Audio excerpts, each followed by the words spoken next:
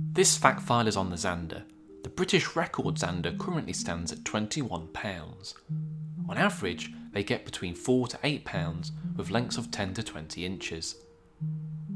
Sometimes called a pike perch because they have the features of both, they aren't a hybrid, but an entirely different species, albeit distantly related to perch.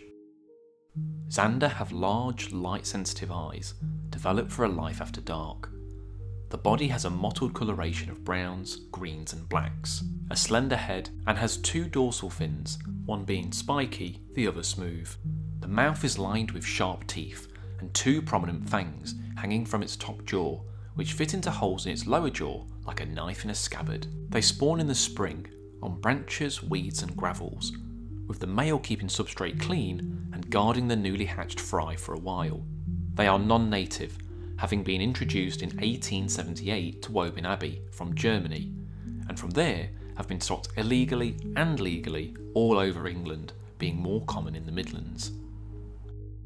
Zander like murky water, so canals suit them very well, as do large slow moving rivers like the Thames, Trent and Severn. Where the water is clear, they hide in deeper water during the day. In large lakes, like in Rutland and Grafham, Zander go around in packs, and are more of a social predator.